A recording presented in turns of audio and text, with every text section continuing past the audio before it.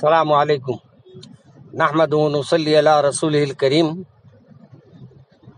नाजरीन कराम सामीन कराम आज इंतहाई अफसोस की एक खबर मेरे सामने आई कि आसिफाबाद में जिस अंदाज से गुंडा अनासिर मुसलमानों के माली और जानी नुकसान पहुँचाने की कोशिश करे हैं ये हमारे कांग्रेस के जिम्मेदारों के लिए लम्हे फ़िक्र है जब तक दूसरे हुकूमतें थी, अमन का माहौल था, लेकिन जब से हमारी ये हुकूमत आई, कहीं ना कहीं इस अंदाज के अमल हो रहे हैं।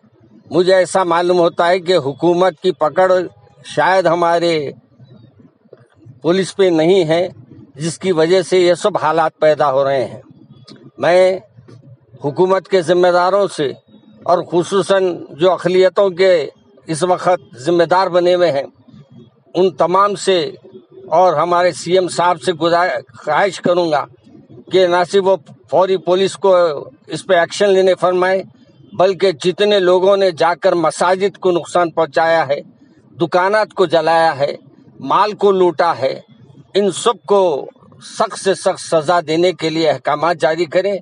वरना ये एक जगह आप खामोश बैठेंगे तो फिर ये समझना, समझ में आएगा कि लोगों को मौका मिलेगा कि हमारे हुकूमत यहाँ एक्शन कुछ नहीं ले रही है।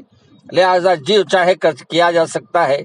मैं हुकूमत से मुतालबा करता हूँ कि वो फौरी एक्शन में आए और हमारे जिम्मेदारों को भी मैं जो अखिलियतों के जिम्मेदार हैं, हमारे उनसे भी गुजारिश है मेरी कि वो फौरी हमारे सीएम साहब को तवज्जो दिलाए और होम मिनिस्टर को तवज्जो दिलाए, क्योंकि होम मिनिस्टर का अहदा भी हमारे सीएम साहब के पास है।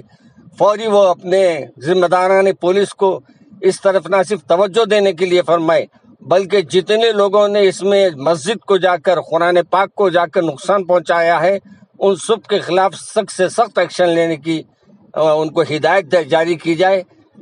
और मैं आवाम उन्नास से खुशन मुसलमानों से अल्लाह से दुआ की दरख्वास्त करता हूँ। अल्लाह आपकी हिफाजत करेगा। अल्लाह हमारे लिए खैर के फैसले फरमाएगा।